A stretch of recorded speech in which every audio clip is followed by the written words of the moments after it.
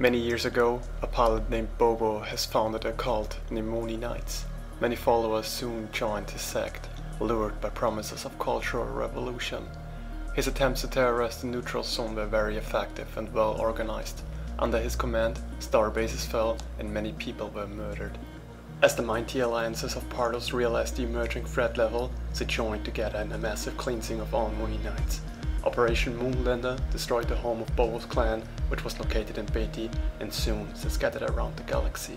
However, recent public statements made authorities newly aware of a potential threat, as Bobo has made his first public appearance after years, calling pilots for intel on vital military outposts, specifically located in the neutral zone. Following his statement, first attacks have been confirmed which were carried out under a renegade alliance named the Old Candy Lords. Targets were multiple outposts of the Boondock Saints. It is expected that further attacks will follow, and people of Pardus are advised to stay alert until responsible authorities get the situation under control. Motives of Bobo still seem unclear, however it seems that he wants to firm his grip over the neutral zone once again. This concludes Terror Watch.